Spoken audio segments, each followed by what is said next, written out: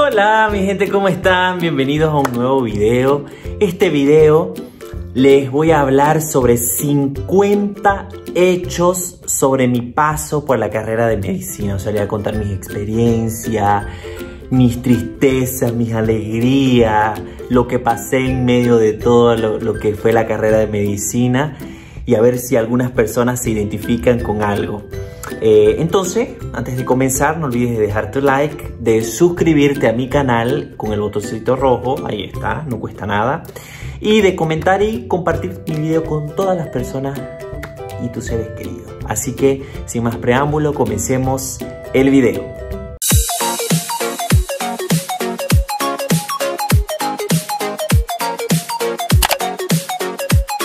Entonces, mi gente, como ven, me corté el pelo Dios mío, estaba peludo. Ustedes saben, ustedes vieron mis otros videos. Parecía un mono ya de perdido en la selva que hace tiempo que no se cortaba el pelo. ¡No!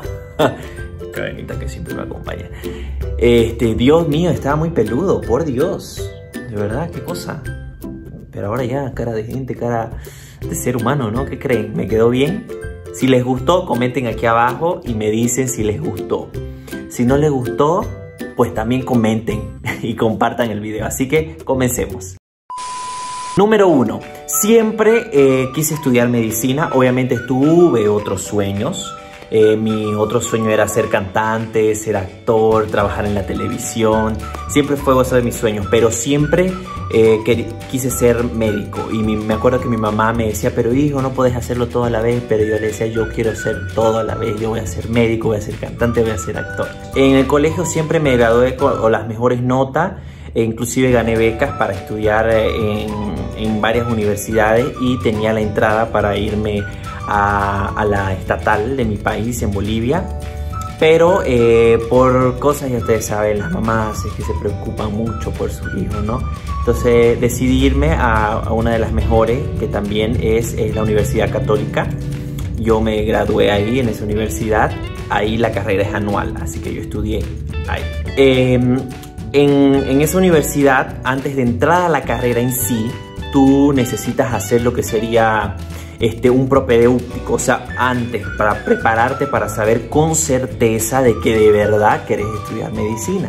Cuando haces el propedéutico, te van enseñando un poco lo que es la fisiología, el funcionamiento normal del cuerpo, algunos temas relacionados que tengan que ver con medicina, también te enseñan lo que son, este, ¿cómo se llama? Eh, técnicas para tú desenvolver la forma de poder estudiar en la carrera, porque tenés que absorber bastante contenido. Luego entré a la carrera de medicina en la universidad, eh, comencé en febrero, me acuerdo perfectamente, me tocó el primer grupo, el grupo 1, 1A, porque eran bastantes grupos, grupo 1, 6, D y todo eso, o sea, en el, primer año entran mucho, pero ya en el segundo ya se va ese grupo disminuyendo. Las materias. En el primer año hubo materias que me gustaron y que no me gustaron me costó un poco anatomía. ¿A quién no le cuesta anatomía? Histología, eh, yo decía que no me iba a llevar muy bien, pero fue la materia que más me gustó. Eh, yo siempre fui una persona extrovertida, o sea, nunca me quedaba callado, como podríamos decir.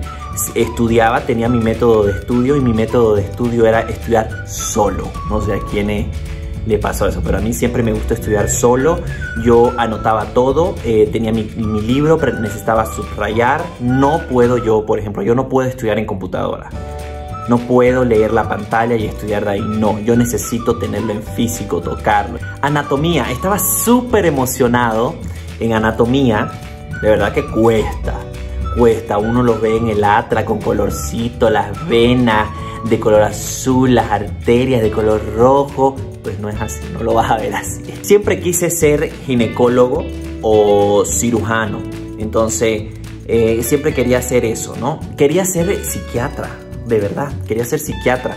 Pero yo decía, ay, no voy a poder operar, no voy a poder hacer esas cosas. Yo soy mucho que me gusta, como le digo, la, la acción, estar en la práctica. Ay, los exámenes. Anatomía, yo estudiaba, de verdad que estudiaba, estudiaba. Estaba en el examen y el doctor preguntó dónde se encuentra el apex o la punta del corazón. Y yo me olvidé y por eso le digo, de los errores aprende. Y lo que no respondiste bien se te va a quedar por toda la vida. Y a mí se me quedó. y es en el quinto espacio intercostal, lidia media clavicular izquierda.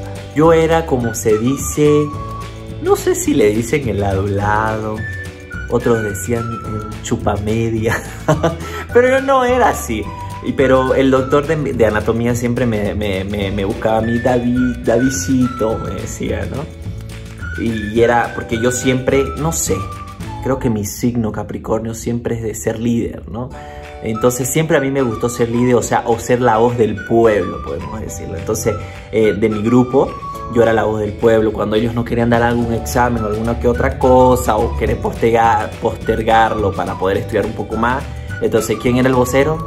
Yo. Entonces, como todos decían que yo era el chupamedia y que yo ya tenía la materia de anatomía ganada, pues no fue así, ¿ya? Porque el doctor en sí, eh, ustedes saben, ¿no? Hay primera instancia, segunda instancia. Me levanté a las 5 de la mañana, fui a estudiar. O sea, fui, preparamos el examen, duró más de una hora y media. El teórico, porque era teórico y era práctico. Ese mismo día, el doctor dio el resultado quienes pasaban el examen, todo, y ya no necesitaban ir más a la universidad, ¿no? Ya esperar sus notas y esperar inscribirse al segundo año de medicina. Yo sentía que iba a pasar, en serio, pero y todo el mundo decía, no, David, vos vas a pasar con Fabio, porque el doctor es, los quiere, son sus compinches, como dicen en mi país. Llegó el momento que dijo, Campos, a la segunda, ah, segunda, o sea, segunda instancia, yo... Ah, y Fátima, mi compañera Fátima, según dice así, quedamos así. Porque jamás en mi vida he escuchado eso. Yo que comencé a hiperventilar, lloré, me sentí mal. Hubo varios compañeros que lloraron. Me acuerdo, así lloramos bastante porque, porque nosotros pues primera vez en la universidad no sabíamos cómo se manejaba. Segunda instancia era como tu oportunidad de plaza, la yo qué hacemos, horrible. Me acuerdo que había una parte en, ya terminando el primer año, eh, en anatomía, había que ya disecarlo, sacarle toda la carnecita, la piel y dejarlo hueso y después barnizarlo. Me acuerdo bien para dejarlo, para dejarlo ya para las otras personas porque ya vienen cuerpos nuevos, me imagino, no sé esa cosa cómo se maneja. Y me acuerdo que estábamos con Fátima y a mí me tocó, me acuerdo que me tocó, me tocó un brazo. Sí, creo que me tocó un brazo un brazo y hay una pierna, algo así. no se asuste. Me tocó y me acuerdo que, ay Dios mío, que es un trabajo eso, dejarlo hueso totalmente. Llegué al segundo año. Yo dije, bueno, me va a encantar. Ya todo el mundo se, se, mezcla con todos los paralelos, paralelo 2, 1, ya todos están así, dependiendo cómo se escriban, porque ya sé, unos se inscriben por orden de nota. Fisiología, mi coco, no sé por qué, pero no sé por qué yo digo, Dios mío, ¿por qué a mí? Pero siempre en cada año, siempre hay una materia que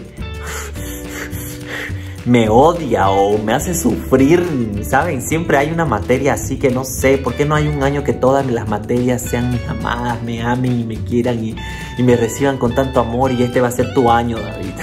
Pero no. Examen final de fisiología. También. Yo nunca vi así cuando dicen que cuando te moriste pasa todo por la mente. Ya, así, lo mismo. Me encantaba Parásito y Bacterio. En Parásito, el doctor era un amor de persona. Qué doctor más paciente. Bueno, tenía, miren, ese doctor merece un premio. Porque ese doctor tenía una paciencia para hablarte. O sea, nunca lo ibas a ver enojado yo siempre me llevé bien con todos mis docentes, eh, siempre he tenido esa, esa comunicación, porque yo no sé, yo siempre me he considerado interactivo, o sea, charlas, siempre me he llevado mejor con personas mayores que yo. Llegué tercer año, el más temido, porque era como el corte, decían, es el corte de todo. Aquí se sabe quiénes, quiénes van a, a estar en la carrera, van a terminar, porque era ya era más pesado. O sea, aquí ya llevabas eh, fisiopatología, llevabas anatomía patológica, llevabas semiología, que ya ibas a los hospitales, a las prácticas. Y la materia que fue mi coco y que me gustaba muchísimo porque la doctora que hacía la práctica era muy buena, era de anatomía patológica. Pero el, el docente que hacía la teoría no enseñaba nada. Gracias a la doctora sí me encantó, me gusta anatomía patológica, así que me encantó. Llegó el momento, llegó el momento de, ¿cómo se llama? El momento de los exámenes finales del tercer año. gracias a Dios todas las materias, o sea, habilitadas, porque uno va dando examen conforme todo el, el transcurso del año y tienes que habilitar la materia para poder dar tu examen final. Llegaron los exámenes finales del tercer año. Me tenía que enfocar en las que eran más. Y yo, ¿cuál era? Fisiopatología con el doctor Toro. Entonces era mi miedo, mi miedo porque obviamente creo que eran 30 nomás alrededor del, del, año. Y el final eran 60 preguntas. 60 preguntas abiertas todas. ¿ya? Y imagínense todo de todo el año era muchísimo contenido, muchísimo. Si yo pudiera mostrarle todos mis libros que eran así enormes, para que ustedes vean que eran hartísimos. Ya, perfecto, era muy nervioso. Él tenía sus cosas. Entonces llegó el momento, gracias a Dios, pasé, pasé. Yo dije, no, yo respondí 60 preguntas. De verdad, había que escribir un montón. Llegué a cuarto año, uh, decían que era lo más, era un poco más leve y de verdad que fue complicadito, ¿no? Porque ya cuarto año ya era mucha más materia. Había cirugía 2, ya había medicina interna. Cuarto año fue un año eh, relajado, la verdad. Todas mis materias estaban bien, pero como les digo, siempre tenía una materia que me costaba mucho. Y aquí todas me iban muy bien. La medicina, eh, el que estudia medicina, de verdad que tiene que dejar muchas cosas eh, como hasta de tu familia. Por más que vivas con tu familia, con tu papá, tu mamá, te alejas un poquito. Porque yo, por ejemplo, eh, yo no bebo, no fumo, no soy mucho de salir a fiestas, así que no era un problema para mí. A mí me encanta estudiar, me encanta estudiar así por la noche, tipo ya 9, 9 de la noche ya yo estoy estudiando hasta, hasta donde pueda, hasta el amanecer porque a mí todo me distrae, o sea, todo. Yo no puedo estudiar en la mañana porque escucho la mosquita, escucho algo, no sé si le pasa, si le pasan, comenten por favor, pero escucho algo y ya, ya me distrae. Eh, y peor en la tarde, entonces no, en la noche yo estoy más calmado, estoy más sereno, eh, puedo leer, puedo escribir, puedo estar, nadie me molesta. Yo no me considero un nerd, ¿ya? Pero sí me gusta enfocarme, soy una persona que se, es determinada, o sea, quiero hacer esto, lo voy a hacer. Como les digo, siempre fui líder y siempre que hacíamos grupos en la universidad, o sea, para defender un proyecto, para hacer algo, porque siempre teníamos eso de hacer un proyecto, entonces yo siempre era el líder de, ese, de mi grupo, ¿no? Entonces siempre me gustó que, se, que sea bueno, que sea un grupo bueno, que, que nos esmeremos y nunca me gustó perder, ¿no? Entonces quería ser siempre el mejor. Entonces yo creo desde el colegio era eso. Ya llegué al quinto año de medicina. Era solamente una materia anual. Pero eran un montón, eran como 16 materias. Obviamente no las vas a llevar en un semestre. Las 16 eran repartidas, digamos, ¿no? Primer semestre, segundo semestre. Urología, todo mundo tiene ese pensamiento. No, urólogo es solamente para los hombres. No, urología también ve, ve todo lo que es el tracto urinario, sea femenino o masculino. O sea, si vos tenés una piedra, vamos a hablar en formas vulgares, acá en formas, en palabras normales. Em, si vos tenés una piedra en el riñón, el, que lo va a ver va a ser el urólogo, ya sea hombre o mujer. Dermatología. Tenía miedo porque decían esa doctora es fregadita, es mala, es seria, le gusta bien así. Ay, yo tenía miedo. Pero fue una de las materias que me encantó muchísimo. Muchísimo. Por eso dije yo quiero ser dermatólogo. Las prácticas eran las mejores en quinto año porque ya no parabas estudiando casi en, la universidad. Era todo en los hospitales, eh, práctica de gineco, práctica de obstetricia, práctica de oftalmo, de dermato. No, no, no, me encantaba, me encantaba ir a las de dermato. En dermatología es todo ver, ya casi es así, clínico, ta, Llegaron los finales. Dios mío, ustedes imagínense cuántos, 16 materias, obviamente no todas, pero repartidas. Hubo una materia que me costó un poquito, no me acuerdo el nombre de esa materia, pero era un poquito, eh, porque tenía que ver, ay, yo odio los números, de verdad. Y si todo mundo que está viendo acá, yo odio los números, así que era bien así complicada esa materia, no me acuerdo, le voy a poner el nombre aquí abajito. Si ustedes creen ya que estudiar medicina se van a salvar de, de números, pues están equivocados. Hay una materia específica para eso, porque tenés que saber números. Dios mío, tenés que levantar, te enseñan, porque como ustedes saben, hay médicos que se dedican directamente a la administración de un hospital. Entonces, Tienen que saber número, tienen que saber graficar. Ya, por favor.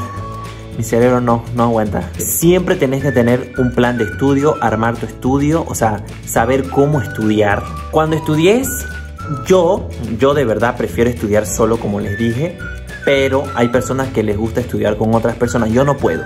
Yo primero estudio solo, ¿ya? Solito me aprendo el tema, todos los temas que tengo que aprender y ahí quizás ya llamo a un compañero, una compañera donde nos hacemos preguntas y eso y así aprendo. Así ya repasamos y se nos queda mucho más. Yo hacía eso con mis compañeros. Eh, la medicina es hermoso, estudiar medicina es bonito, vas a, vas a pasar días de felicidad, días de tristeza, de llorar y todo.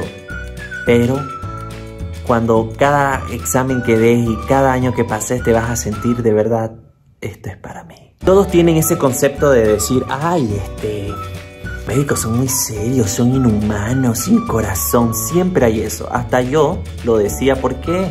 ¿Por qué esta medicina si son así? Pero después lo van a entender. Uh, ya llegaba, ya está en el último, en los últimos meses, ya terminando quinto año, porque el sexto aquí son, en Bolivia son seis años, cinco eh, de estudiar y 6 es el internado rotatorio donde te vas al hospital. Entonces ahí ya todo formulaba desde cuarto año hasta quinto, las dos notas las sumaban y veían tu promedio y así te destinaban, ¿no? Ya ahí es un, choque, ¿no? De la realidad y la medicina no siempre es exacta.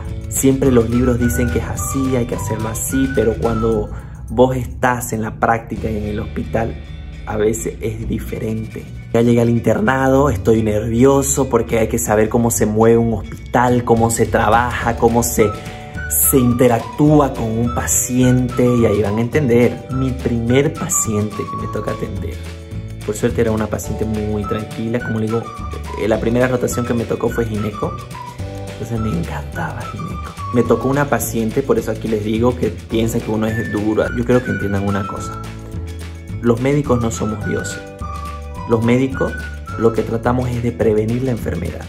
Ya si estás con la enfermedad tenemos que tratarla, obviamente. Pero hay personas que uno le da sus tratamientos o hay personas que esa enfermedad la tienen de tiempo y ya está muy avanzada donde nosotros no podemos hacer mucho, sino aliviar sus síntomas. Entonces la persona quiere que uno ya venga y lo salve y no es así pasé a pediatría de, la rotación, muy bueno, me, me, tenía miedo también porque ahí se lleva bastante número, ya ustedes saben que hay que trabajar con dosis, porque no es la misma dosis completa que se le da a un joven ya adulto que a un niño. Tomas decisiones ya en tu vida que son bien importantes en medicina. Porque ya cuando estás en el internado ya no te tratan como un simple estudiante, ya tienes que aprender a tomar decisiones, a, a ver qué hacer, entonces eh, ya, ya vos caes en la realidad de decir, wow, ya tengo responsabilidad. Yo siempre, nunca, nunca llegué a decir, ay, no quiero más, renuncio a la carrera. Nunca. Nunca porque siempre quise ser médico, nunca me hallé en otra carrera que no sea medicina, de verdad. Tenés que saber sobrellevarte bien con las enfermeras. Yo siempre me llevé bien con las enfermeras, me querían muchísimo porque yo hablaba, las respetaba, le ayudaba, porque a mí me gustaba aprender. Era, es difícil porque a mí me tocó lidiar una...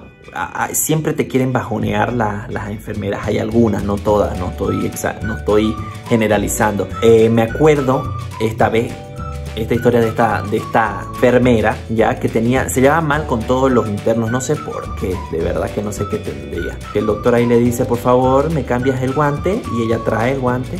Y le dice, y la de mi interna también, le dice el doctor por mi compañera. Y ella no lo trajo. Pero yo sabía por eso. Y le dije, este, ¿qué número sos? Este, vale, le dije. Y el doctor vio eso. Entonces era muy fregada. Tenía una compañera que era, siempre me acompañaba de turno. Inclusive le mando un saludo, hola Patti. El que quiera estudiar medicina y que de verdad tenga la vocación, les va, le va a gustar muchísimo.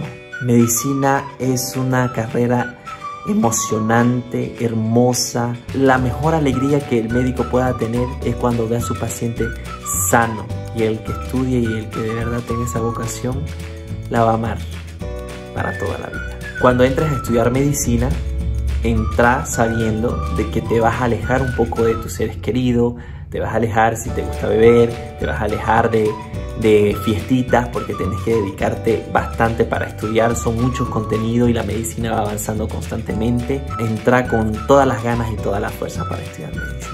Y bueno, ese fue el video de hoy, espero que les haya gustado los 50 hechos eh, dentro de mi trayectoria en la medicina y que aún falta, ¿no? Porque tengo que hacer mi especialidad. Entonces espero que les haya gustado muchísimo este video y gracias por acompañarme. No olvides de dejar tu like, de suscribirte en mi canal que es muy importante, de compartir este video y de comentar alguna cosa o algo que te haya sucedido que vos sos, que sos estudiante de medicina y, y compartís las mismas cosas conmigo, entonces no te olvides. Muchísimas gracias, nos vemos en un próximo video. Chao, chao.